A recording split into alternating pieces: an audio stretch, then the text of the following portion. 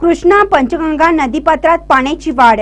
गेल्या दोन दिवसापासून सुरू असणाऱ्या संततधार पावसामुळे रात्रीतून पाणी झपाट्याने वाढलं असल्याने कृष्णा पंचगंगा नदीचे पाणी पात्राबाहेर पडलं आहे.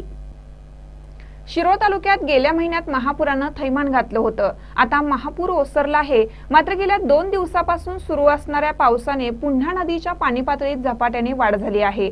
तब्बल दहा फुटापर्यंत पाणी पातळी वाढली आहे. त्यामुळे नागरिक पुन्हा महापुराची धास्ती घेतली आहे. काल रात्री अचानक नदी पात्रात पाणी वाढल्यानं पात्रातून बाहेर पडलं आहे पाणी. काही भागात पहाटे पावसाच्या जोरदार सरी कोसळत आहेत. तर दिवसभर तालुक्यात ढगाळ वातावरण आहे.